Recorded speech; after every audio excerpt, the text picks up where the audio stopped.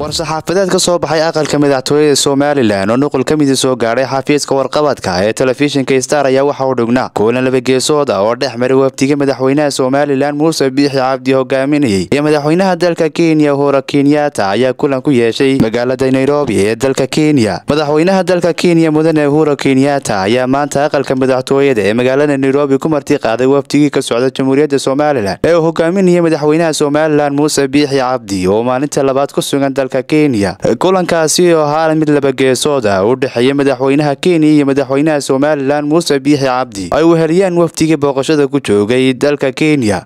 Labada madaxweyne waxay kaga wada hadleen qodobo dhowra oo u badan danaha labada dal ee kenya iyo somalilan sidii loo xoojin lahaa. Waxaana la isla meel dhigay in labada dal wafdiga ay iskugu yimaadaan kulan labaad oo maalinta berri ah oo salaaso ah islamarkaas inay taariikhdu ku beegan tahay shan iyo tobanka bisha desembar labada kun iyo labaatanka si loo dhamaystiro qodobada labada madaxweyne ka wada hadleen. Allah mahadle war-saxaafadeedkani waxaa ku seexanaa afhayeenka madaxweynaha somalilan maxamuud jaamac warsame xamse dalxa wararka telefishinka madaxa banaani star t v